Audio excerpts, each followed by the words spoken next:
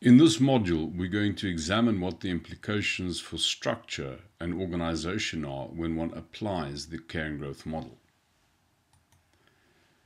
In the first instance, you'll remember that when we examined the basic axioms that go into the care and growth model, it became apparent to us that when one empowers, it has an effect on control. And we therefore concluded that care and growth implies an incremental suspension of control in order to enable the subordinate.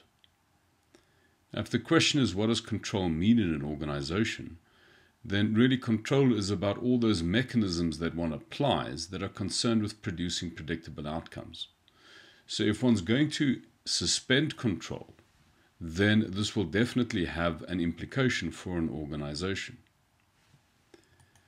So if one considers what the mechanisms for control are, then in the first instance, one should ask oneself, well, what are you trying to control? And you, what you're trying to control is the, the task and the results, if you like. If you're trying to control the results or produce a predictable outcome, the first thing that you have to do is you've got to take the task that's being done and cut it into discrete bites. That cutting of the task into discrete bites is about producing budgets or targets or key performance areas, job descriptions, it's about defining levels of authority and hierarchy. All of these things are really concerned with structure.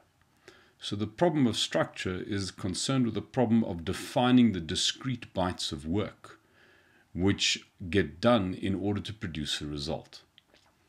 Once those discrete bites of work are defined, then the next problem is to put those discrete bites together in procedures or processes or policies that orchestrate together for the organization to work. And that second piece we call the production of system.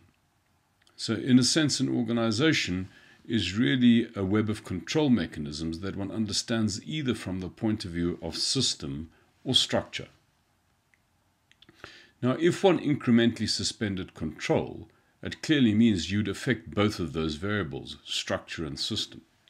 And if we consider what that meant for structure, then in the first instance it would imply a flattening of the organization.